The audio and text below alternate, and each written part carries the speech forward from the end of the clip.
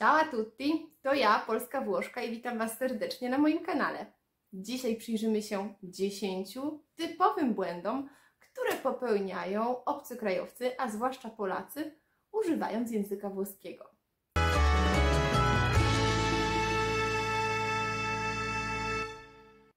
Zwykło się jakoś mówić, że język włoski to łatwy język. Czy oby na pewno? Mamy tu do czynienia z odmianą czasowników przez wszystkie osoby. Mamy dość e, zawiłą sytuację dotyczącą prepozycjoni, czyli przyimków, które mogą być proste lub złożone. Mamy tu także rodzajniki, rodzajniki określone, nieokreślone. Mm, dużo elementów, które trzeba jakoś połapać i powiem Wam szczerze, że moim uczniom nawet to dobrze wychodzi. Natomiast przygotowałam na dzisiaj 10 elementów, które sprawiają trudności uczniom na różnych poziomach zaawansowania. Zobaczmy, jakie to błędy. Numero uno. Wymowa. W języku włoskim wymowa jest podstawą. Włosi nie śmieją się, jeśli popełniamy błędy gramatyczne. Natomiast jeżeli przekręcimy wymowę jakichś słów, zdarzają się salwy śmiechu. Na początek najważniejsze, żeby poprawnie wymawiać te słówka. Bruschetta, espresso, gnocchi, macchiato. Pamiętajmy też o tym, gdzie pada akcent w słowie lavoro. Lavoro. Drugi, dość śmieszny błąd. Doppie, czyli podwójne głoski. W języku włoskim często jest tak, że jeżeli nie wymówimy dokładnie podwójnej głoski, nie przeciągniemy tego dźwięku odpowiednio, okaże się, że mówimy coś zupełnie innego niż to, co chcieliśmy powiedzieć. Przykłady: ani, anni, pene, penne. Pamiętajmy, by nie wymawiać podwójnie głoski. To nie penne, to penne. Trzeci błąd. Qualche Koalkę sprawia nam kłopoty. Dlaczego? Bo jesteśmy przyzwyczajeni, że chcemy powiedzieć kilka jabłek. Używamy wtedy zawsze liczby mnogiej rzeczownika. Kilka dziewczyn, a nie kilka dziewczyna. Po kłalkę pamiętajmy, by używać właśnie liczby pojedynczej. To nie jest dla nas naturalne, to nie jest dla nas e, gdzieś do końca logiczne, ale tak jest poprawnie po włosku. Conosco qualche ragazzo italiano. Znam kilku Włochów. O qualche mela, mam kilka jabłek. Ho comprato qualche libro. Kupiłam kilka książek. Czwarty błąd. Andare kontra venire. Często błędnie używamy tych czasowników. Jak sobie zapamiętać, kiedy andare, kiedy venire? Otóż, kiedy nasz rozmówca chce przyjść do nas, albo to my mamy udać się do naszego rozmówcy, używajmy venire. Vengo da te. Przyjdę do ciebie vieni da me. Natomiast jeżeli chcemy się gdzieś udać sami, powiemy vado al cinema. Oznacza to, że idziemy tam bez naszego rozmówcy. Albo Marta stasera va in discoteca. Marta idzie na dyskotekę, ale beze mnie. Piąty błąd. Amici versus kolegi.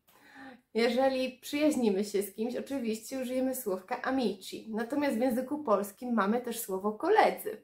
To nie tacy bliscy przyjaciele, wiemy o co chodzi. Natomiast w języku włoskim kolega to znajomy z pracy. Nie używajmy tego słówka w odniesieniu do naszych znajomych z życia prywatnego. To wszystko będą amici. Jeżeli chcecie powiedzieć, że jesteście z kimś w bliskiej zażyłości, jest jakiś bliski przyjaciel, musimy to jakoś doprecyzować i po prostu powiedzieć amici intimi.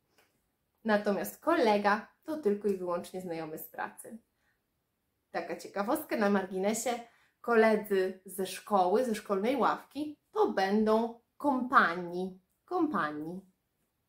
Szósty błąd. Bambini. Bambini to po prostu małe, słodkie istoty. Nieważne, czy one są moje, twoje, wasze, czyjeś.